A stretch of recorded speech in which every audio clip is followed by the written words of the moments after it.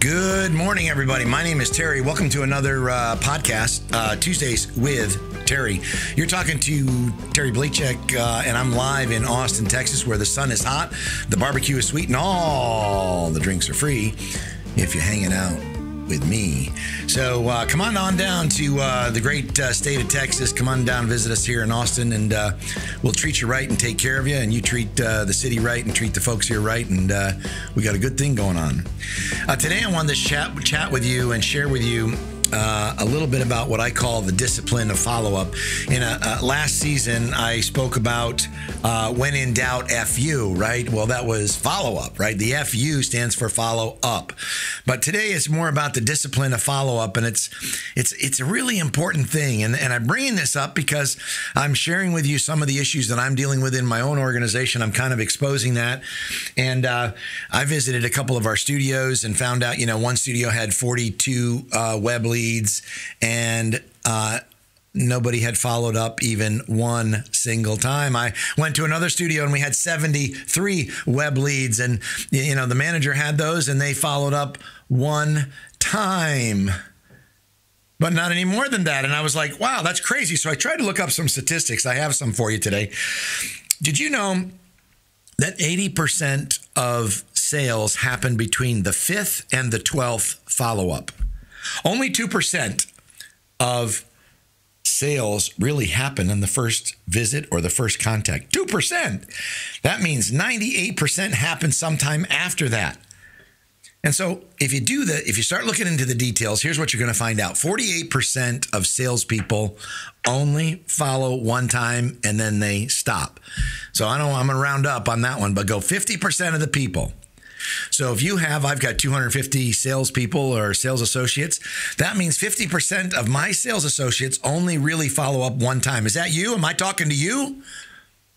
I hope not. I hope it's not my group I'm talking to. I hope that's somebody else's group I'm talking to. Uh, 68% of the people follow up twice. Twice. So if you go from 40, another 20%, another 20% will pick up and they'll go, okay, I'll follow up at least two times. 80% of the people give up after the third follow up. 80%.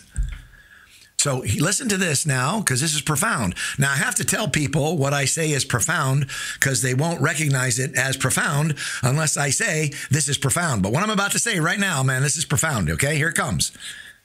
If 80% of the people give up after the third try, what is your percentage of success if you do it the fourth time? That, in fact, is the low hanging fruit because most, imagine 80% of the other people you're competing against, they've given up. But if you can do it four times, now you're in the top 20% of people, and your chances of success are much greater because everybody else has quit. Now, if you do it five times, if you follow up five times, that's where the sales happen. Remember, I said five to 12 happens right around 5 to 12. Now, if you do it six times, imagine yourself, I, know this is, we're going to go crazy. You do it six times. I mean, I'm telling you, uh, oh my gosh, could you imagine what would happen if you followed up six times? I mean, there's nobody there but you knocking on the door, making the call, sending the text, sending the email. You're free and clear, baby. And by the sixth or seventh time, you become, whether they do it now or do it later, you become the one that they remember because you now have ingrained it that you are the one that follows up. Don't you personally want to deal with a company or a person or a salesperson or a representative that actually follows up? I know that I do. I know that I do. And so when you think about the discipline of follow up, I got a couple questions for you. And the question is how organized are you with your follow up? Number one, do you, when you get a prospect or you get a candidate that you think you might be able to change their life, you think you might be able to help them solve a problem or make a sale, do you have a plan for follow up? How organized? Do you say to yourself, man, I'm going to have to do this five, six, seven, eight, nine, ten times? Does that even occur to you? I'm telling you, get that out in the front. And when you have your CRM, when you have your Orange Book, when you have whatever it is, your Salesforce that you're using, know that it is five to 12 times. Say that to yourself. You're not going to make it happen unless you follow up. And that's called discipline. Do the work today to enjoy the benefits tomorrow. How organized are you? Have you planned your day and you say, This is when I'm going to do my follow up? I've generated some leads. All I've got to do is follow up. So if you're going to follow up, it's as simple as saying, setting yourself up, take a blank sheet of paper and say, what does the first follow up look like? Is that a call? Is that a text? Is that an email? Is that a video? How creative can I be? And that's part of the problem with follow up is people simply are not creative creative enough. I use the illustration of follow up with dating. Now, if I uh, was in the dating world, I'm not, but I was at one time. But if I was in the dating world and I wanted to go out to the movies on a Friday night with a with a girl, and I asked her out on a Tuesday, and I said, "Hey, um, we, you want to go to the movies?" and she says yes, and I said, "Well, man, I'm I'm going to do what Terry said. I'm going to follow up." And so the next day I follow up and I say, Hey, it's Terry. I'm calling and I just want to make sure we're still on for uh, Friday night at, uh, you know, seven o'clock.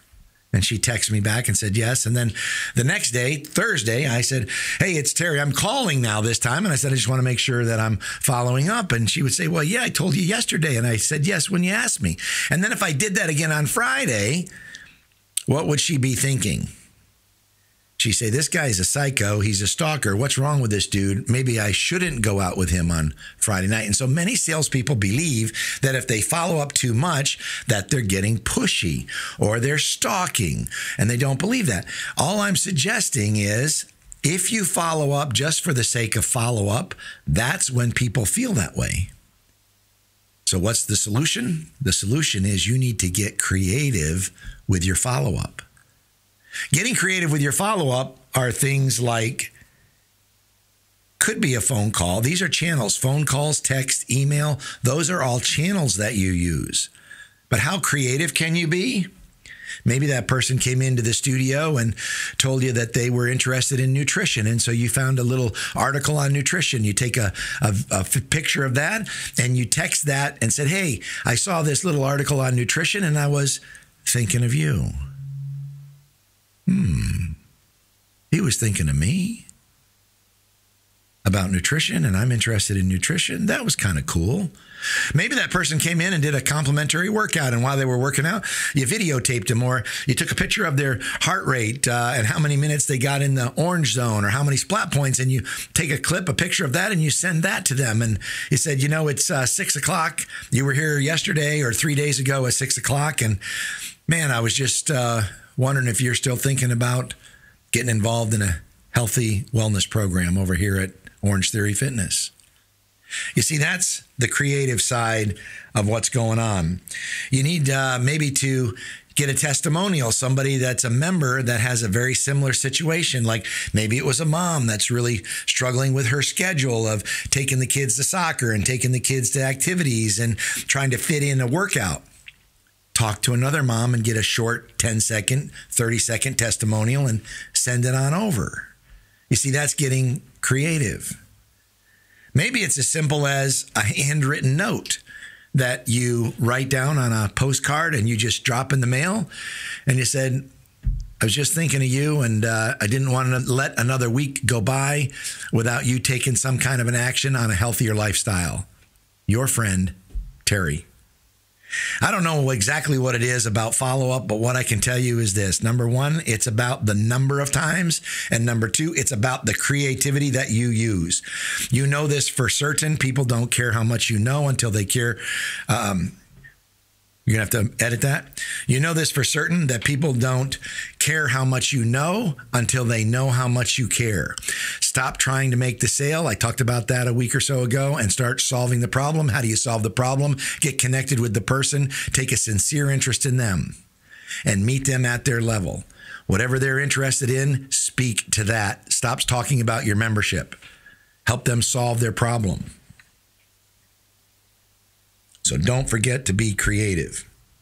Never do the same thing. Never keep saying, Are you coming in? Do you want another workout? Are you still interested? Are you still interested? I wanted to follow up. You want, you know, that's just that that's because you lack creativity. If you're doing that and you look at your last five or six or 10 follow-ups and it's all saying the same thing, you lack creative creativity. You need to get creative. You need to go walk around the building, run around the building, get on a treadmill and put up to 15 miles an hour, get the blood flowing, get the endorphins going, and get a little creative, will you?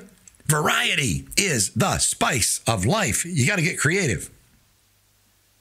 And remember this time kills all deals. You let too much time go by, you're losing a deal. You let days go by before you do the second follow up, you lost the deal. You let days go by before you do the third, you're losing a deal. You've got to be relentless at the follow up, be creative.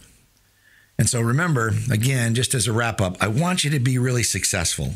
I hope, I trust, I believe that you can be successful. Believe in yourself.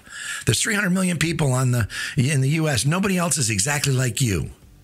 Believe in yourself. Believe in your creativity. Believe in your product. Believe in your services that you're offering. Get excited about it. Excite and invite. But man, can you do me a favor? Follow up. My name's Terry. I'm your friend.